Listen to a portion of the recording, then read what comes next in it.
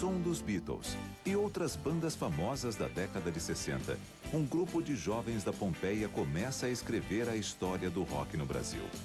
Dão a Pompeia o título de berço do rock brasileiro ou a nossa Liverpool, famosa cidade inglesa onde os Beatles começaram. Entre 1960 e 1970, a Pompeia é dos roqueiros. Rock na Pompeia.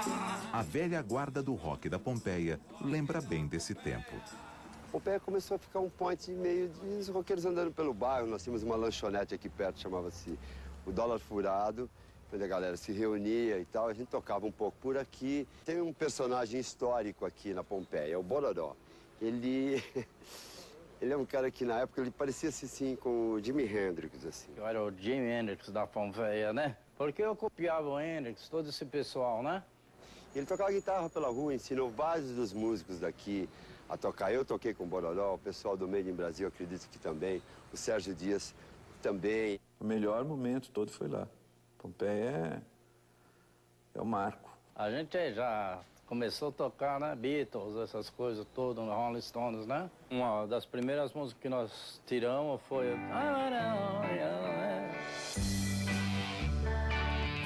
rock da Pompeia lança muitas bandas pelo país afora, como os Mutantes, de Rita Lee e dos irmãos Sérgio e Arnaldo Batista.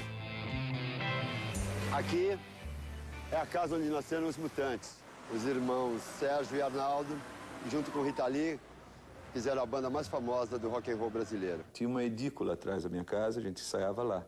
Então a gente começou a se envolver com música, com rock. Eu, um vizinho próximo, mais próximo, sou vizinho até hoje da casa. Pompeia foi, uma, foi um furacão na nossa vida, né? Nesse pequeno espaço de duas quadras, nós temos os Mutantes aqui, a minha banda que é o Tutti Frutti, que é aqui na casa próxima, e na esquina no meio do Brasil. Então aquela, aquele lugar inteiro foi onde foi a nossa Liverpool mesmo, foi onde tudo aconteceu.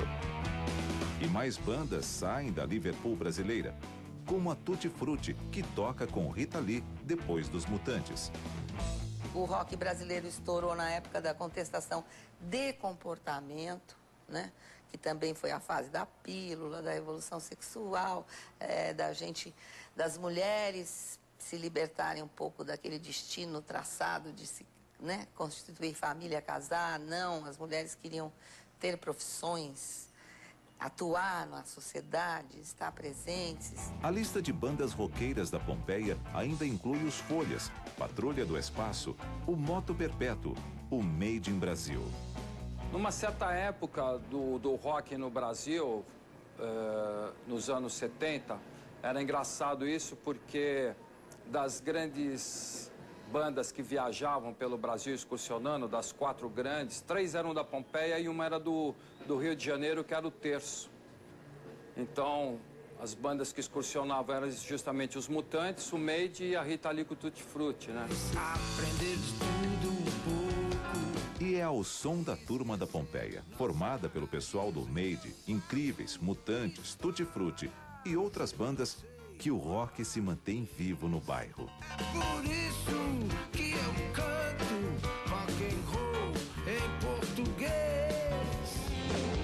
E de geração em geração, o rock segue firme na Pompeia.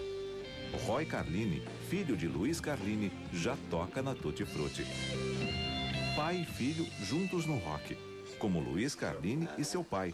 Esse é o Sérgio Carlini, vai contar essa história para vocês nos tempos em que seu Sérgio é o road da turma. Road é o funcionário, o cara que carrega os instrumentos, monta as coisas, trabalha no palco, afina as guitarras, enfim. Meu primeiro road foi o meu pai, que é road até hoje, sabe? Sempre vive me ajudando, ajudando a banda. Eu sou um músico frustrado. Nunca toquei nenhum instrumento, mas carreguei uma montanha dele, sabe? Fui o primeiro role do menino aqui. Nunca me pagou o cachê. Mas isso nada pra não. falar. A gente combinou, cachê? Não, mas estava implícito, né? Seu Sérgio acompanha o tempo de uma nova geração.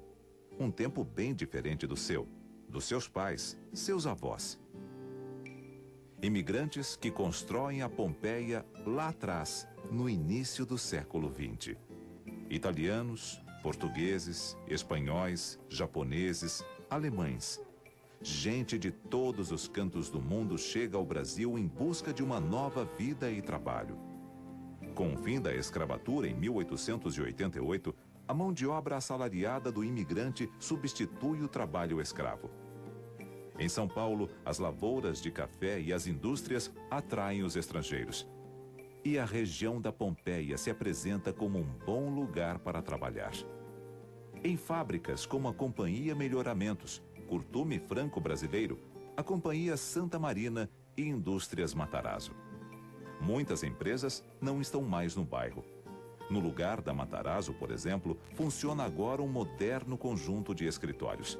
Só algumas velhas chaminés da fábrica lembram os velhos tempos. Nas indústrias Matarazzo, trabalhava a minha família. Meu avô, 50 anos. Meu pai, 30 anos. Meu irmão, 10 anos. E outros mais que eu já nem lembro. Os trabalhadores, eu recordo-me bem que eles iam trabalhar de terno, de chapéu, que era como se vestiam na época, né? Usavam muito terno de gazimira, né? Eles iam com o bornazinho do lado, com a comida, com os lanches, né, para trabalhar. Na época, o trabalho caminha junto com o povoamento da região. Antigas chácaras dão lugar a novos loteamentos. No início do século XX, a família Bindi e Rodolfo Miranda, da Companhia Urbana e Predial, loteiam a Pompeia. Este antigo mapa mostra o loteamento da época. Dois córregos, o da Água Preta e o da Água Branca, separam a Pompeia da Vila Romana e do bairro de Perdizes. Há duas versões para o nome do bairro Pompeia.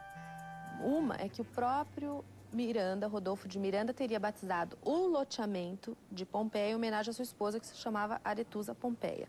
A outra é que tem a hipótese da, da, da italianada, né? Que é uma família uh, que foi viver na região, teria tido uma filha muito que ficou doente e numa viagem à, Itália, à cidade de Pompeia, eles haviam feito uma, uma promessa de que caso a filha se curasse, eles ergueriam algum ponto da cidade, uma capelinha em homenagem a esta, a esta, a esta cura, né? Em agradecimento à cura. Em 1922, uma capela surge no alto da Avenida Pompeia. A igrejinha branca e solitária lá no alto, como que convidava a vencer a subida íngreme e cansativa, logo remunerada por um doce repouso aos pés da Virgem do Rosário. A igrejinha é entregue aos padres camilianos da Ordem de São Camilo de Ledes que acabavam de chegar ao Brasil. Mais tarde, no lugar da capela, os padres constroem uma nova igreja, a de Nossa Senhora do Rosário da Pompeia. Com os padres, o bairro também ganha uma clínica médica que mais tarde dá lugar ao atual Hospital São Camilo. E para tratar da saúde, muita gente busca a altitude e o clima da Pompeia. E o bairro passa a ser conhecido como Suíça Paulista. Na época do, da tuberculose, os médicos, quando os pacientes estavam em recuperação, eles pediam para vir morar, para fazer. Então começou os moradores a fazer casarões, né, assim, para receber essas pessoas, né? Mais moradores, mais casas. E surge na Pompeia um novo conceito residencial: as vilas. Nesta foto do início do século XX, uma das primeiras vilas, a Vila Francesa, construída para abrigar imigrantes. E a mesma vila hoje, com casas particulares. Nas casas, o novo estilo de construção mostra a influência arquitetônica trazida pelos imigrantes. Casas com jardins de inverno, porões, fachadas com enfeites, portões de ferro. Algumas dessas casas ainda existem e dão um ar saudosista à Pompeia. O comércio e serviços acompanham o crescimento do bairro. Dona Zélia Viana lembra bem dessa época. Era menina quando a mãe tinha um curso de corte e costura no bairro. Minha mãe dava aula para as filhas dos imigrantes, não só as filhas, mas mesmo as senhoras que vinham. E uma das coisas que era muito necessária na época era a costura, pelo fato de não existir vendagem de roupa nem íntima, nem do homem nem da mulher. Na Pompeia, o transporte era feito de bonde, bicicleta, carros de praça, os táxis atuais, carroças e charretes. Seu Ulisses Bindi lembra bem dessa época. Meu pai, você sabe, eh, ele tinha problema financeiro, né? Então ele comprava sempre com roda de ferro. Ele não comprava de pneu. Porque se o, se o pneu esvaziasse, ele tinha que encher. Ele não tinha bomba. E a, e a de ferro não, não tinha problema. Não furava nunca. Os ônibus logo começam a circular pelas ruas da Pompeia. E é criada a primeira empresa de transporte coletivo, a Auto Ônibus Pompeia. A Pompeia cresce, ganha as primeiras escolas. O Grupo Escolar Nossa Senhora do Rosário, o Grupo Escolar de Vila Pompeia, mais tarde Colégio Miss Browne e o Sagrado Coração de Jesus. Os jovens filhos de imigrantes namoram, casam, se divertem nos piqueniques, quermesses, festas da igreja, nos clubes. Como União Fraterna, tombado em 1994. As ruas são da criançada. Brincar de roda, de esconde-esconde. Então a gente fica tudo sentado nas portas e as crianças brincando no meio da rua. Tudo era motivo de um chamar outro, de juntar a criançada para brincar, para conversar, para ficar sentado no muro. Era uma época bastante que deixa saudades, deixou saudades bastante. Outro ponto de encontro da época é o Palestra Itália. Fundado em 1914 pela colônia italiana, o clube abre em 1933. Mas vem a Segunda Guerra. A Itália apoia os nazistas e o clube, com medo de represálias, muda o nome para Sociedade Esportiva Palmeiras. Palmeiras de muitos craques, como Oberdan Catani, um dos maiores goleiros do futebol brasileiro da década de 40. Uma defesa espetacular. Filho de italianos, Oberdan vive até hoje na Pompeia. Eu fui caminhoneiro. Eu viajava todo dia de Sorocaba para São Paulo.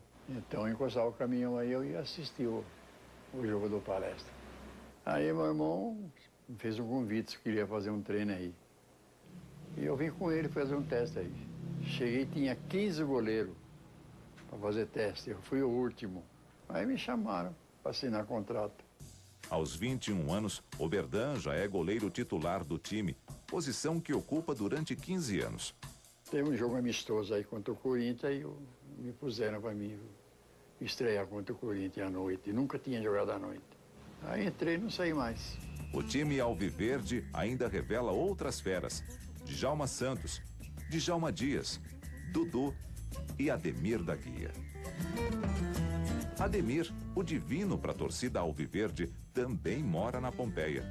Eu procurei morar num lugar em que ficasse perto do Palmeiras e também fosse perto do Pacaembu. Ademir lembra com saudade do seu tempo no Palmeiras, das belas jogadas. Mas uma delas é especial para o craque.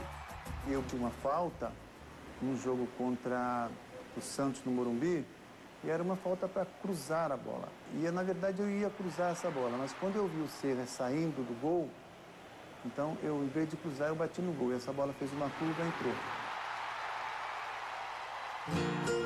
A paixão pelo futebol no bairro vem de longe, dos tempos dos jogos de várzea.